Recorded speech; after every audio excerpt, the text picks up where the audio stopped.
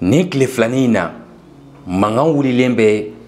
jo b'a la ka faniw ale ni verite maliyɛni ka faniw ni ɲɔgɔn cɛ ka sababu kɛ jo b'a la bɔra ka poropo dɔ fɔ mɔgɔ caman ko ko jo b'a la ye ɲɛngo ye ko jo b'a la ye hasidi ye an bɛna kuma o de kan nin video kɔnɔna na donc la famille n b'a ɲini aw bɛɛ lajɛlen fɛ a ka video si fo ka taa se a dan na pour que kunnafoni minnu b'a kɔnɔ aw bɛ se ka b'olu bɛɛ lajɛlen kalama cogo min na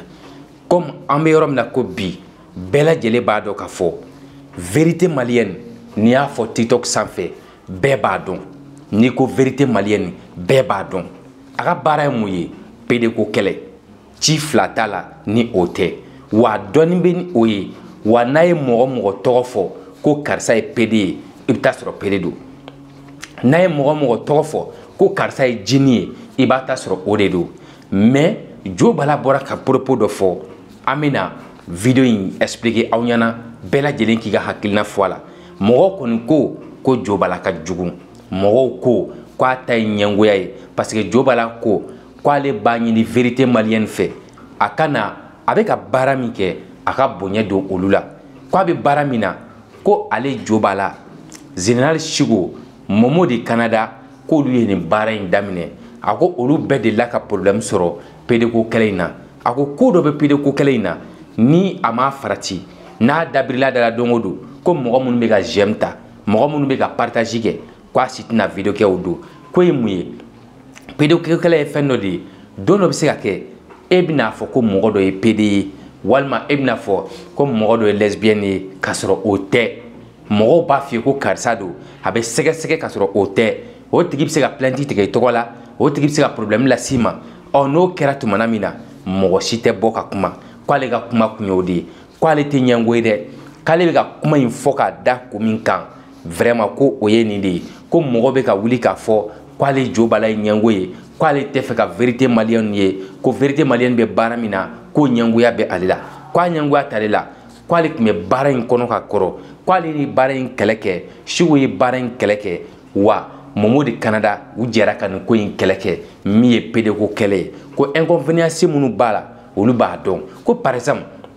olu bɛ se ka liti kɛ kuma bɛɛ parce que olu bɛ jamana kɔ kan mais ko minnu bɛ jamana kɔnɔ dun ko verite maliyɛni filɛ a bɛ jamana kɔnɔ ko n'a da fili la don dɔ la k'a fɔ ko mɔgɔ dɔ ye eh, pd ye sɛgɛsɛgɛli ka kɛ k'a yira k'a fɔ tiɲɛ yɛrɛ la karisa tɛ pd ye dɛ a bɛna kɛ cogo di n'a ko dɔ ye lesbienne ye ni recherche kɛra k'a yira k'a fɔ karisa nin tɛ nin ye nin kuma in fɔra ko nin ye nin ye k'a sɔrɔ nin tɛ nin ye ko a kuma bɛna caya kojugu donc n bɛna a ka video parti dɔ k'a la an k'a lamɛn n'an y'a lamɛn an bɛ sɔrɔ k'a tɔ décortiquer pour mieux comprendre.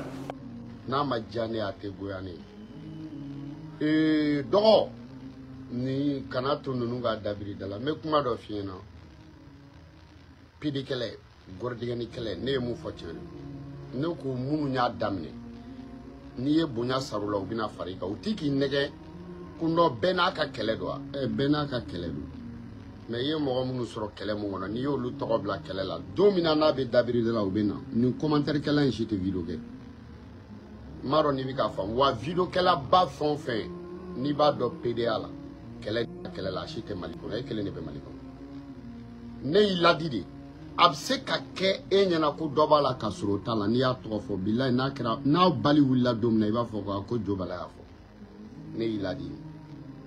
n'i y'a kɛlɛ wusu o de ka di ne ye mɛ ne ye mun f'i ɲɛna o tɛ ɲɛngoya ye koyi minnu bɛ k'i ta kɔmantɛ k'a paritaze o bɛɛ b'a dɔn k'a kɛlɛ daminɛbaga jɔnni bɛ se k'a fɔ ko siko siko dɔnna pirikɛlɛ de fɛ o fɔli o nkalon ye momo de canada mɛ a dɔnna pede kɛlɛ de fɛ jɔni bɛ se ka fɔ ye galo ye ali kulubali mali la a dɔnna pede kɛlɛ de fɛ mɔgɔ si tɛ se ka fɔ ye galo i m'o faamuya wa jo b'a la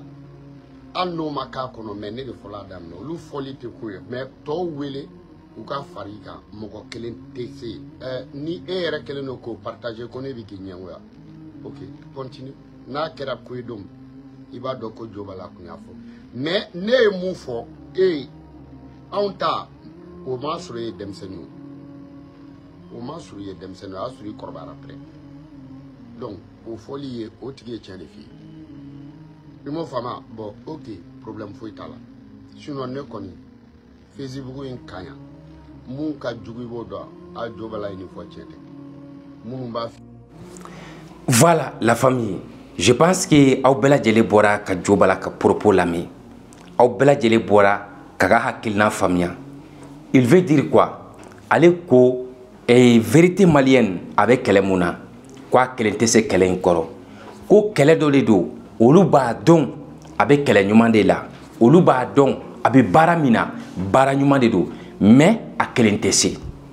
ko ale b'a ɲini a fɛ a k'ale jo b'a la wele a ka mumu de kanada wele a ka sigo wele u ka jɛ u k'u bolo di ɲɔgɔn ma u ka jɛ u ka fara ɲɔgɔn kan ka nin kɛlɛ in kɛ n'u farala ɲɔgɔn kan ka nin kɛlɛ in kɛ o de bɛ kɛ sababu ye a bɛ se ka gaɲɛ kɛlɛ in kɔnɔna na k'olu bɛ mɔgɔ dɔw dɔn minnu b'a la bɔn n'a fɔra sa ko karisa b'a la u bɛ jɛ ka analyser ɲɔgɔn fɛ yali karisa b'a la wa a t'a la a bɛ se ka kɛ selon verite malienne mɔgɔ dɔ b'a la mɛ i b'a sɔrɔ jo b'a la b'a dɔn k'o t'a la walima sigo b'a dɔn k'o t'a la walima mɔmɔri kanada b'a dɔn k'o t'a la u b'a fɔ un kana karisa juge dɛ nin t'a la nin to yen o la n'u farala ɲɔgɔn kan u ka jɛ ka hakilinan kelen ta k'i b'a ye fili tɛ don ko la mɛ ko ni kelen pe y'a kɛ ni kelen pe de y'a yira k'a fɔ ko ne kelen pe de bɛ kɛlɛ in kɛ ka s'a dan na ko pedeko kɛlɛ ye fɛn dɔ de ye k'i kelen tɛ se dɛ k'i bɛ se ka fili don dɔ la i bɛna bila mɔgɔ dɔ la dɔrɔn bɛɛ k'i ka ko bɛɛ lajɛlen tiɲɛ de ye ko maliyɛn filɛ a bɛ mɔgɔ supporter a b'i dɛmɛ tuma min na i b'i ka kɛlɛ kɔnɔna na mɛ n'i ye problème sɔrɔ diɲɛ don o don o don de la i ti mɔgɔ si ye maliyɛn tɛ problème de fɛ maliyɛn b'i dɛmɛ ko bɛɛ la f'i ka porobilɛmu n'i ye porobilɛmu sɔrɔ don min na bɛɛ bɛ boli ka bɔ i kɔ ko yanni k'a se o don ma dɔn ale hakili la a ka na u ka fara ɲɔgɔn kan mɔgɔ kɔrɔ minnu tun bɛ pedeko kɛlɛ la ani ale ale ee verite maliyɛni u ka jɛ ka kɛ jɛkuluba kelen ye n'u kɛra jɛkuluba kelen ye o la u bɛ se ka se nin kɛlɛ in na mɛ n'a m'o kɛ dun ko fɔ a bɛna kɛ ɲɛnɛta ye k'o de bɛna kɛ porobilɛmu ye o bɛna kɛ sababu ye a bɛna coro nin kɔnɔ don ko mɔgɔ minnu bɛ k'a fɔ ko ale ye ɲɛngo ye ale bolo a kana o mɔgɔ ninnu lamɛn a kana baara kɛ ni o mɔgɔ ninnu ka hakilina ye o mɔgɔ ninnu ye mɔgɔ bilana ɲɔgɔnnaw de ye dɔn u ka jɛ min y'a ɲuman ɲuman ye u ka jɛ u ka fara ɲɔgɔn kan u ka jɛ u ka kɛ jɛkulu kelen ye n'u kɛra jɛkulu kelen ye nin kɛlɛ in o bɛ se komi diɲɛ jɔn si tɛ yen k'e kelen b'a fɔ k'i bɛ pedeko kɛlɛ daminɛ k'i bɛ lɛsibɛni kɛlɛ dabila k'i bɛ tila n'i yɛrɛ y'a ta k'a lajɛ fana ne bɛ min fɔ ka fara kan cɛ in ka kɔnti diɲɛ don o don a bɛ banni n'a sera samil abone ma dɔrɔn u b'a ka kɔnti banni n'a sera samil abone ma dɔrɔn u b'a ka kɔnti banni yali o cogo yɛrɛ la ni mɔgɔ dɔ ka kɔnti banni na yanni k'o tigi na mɔgɔ wɛrɛ bɛ kɛlɛ kɛ jo b'a la ye min fɔ aw bɛ se ka wa hakilina fɔ a la juguya don wa dɛmɛ don wa aw de bɛ se k'o dɔn sisan jo b'a la ka kote aw y'a ye verite maliyɛni osi a b'a ka kɛlɛ de la est-ce que vérité malienne tɛ jɔ bala n'u wele o ka jɛ ka kɛlɛ kɛ walima a bɛ ka min kɛ selon vous o de ka ɲi wa aw y'aw ka hakilina bila hakilina bila yɔrɔ la pour mieux comprendre